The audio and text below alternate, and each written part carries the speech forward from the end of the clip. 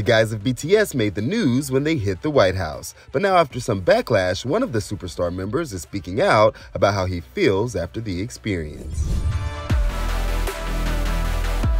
Filter singer Jimin released this statement on Weverse. It is with the utmost gratitude and honor that we were invited to share our voices on behalf of and in representing our armies who come from so many different nationalities, ethnicities, and cultures around the world.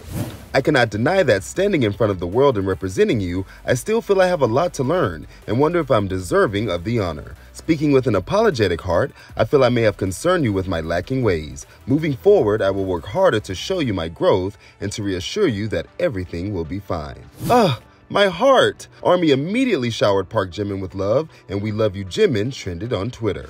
How did you feel about BTS at the White House? Let us know in the comments. Running it down for you always, I'm Tetris Kelly for Billboard News.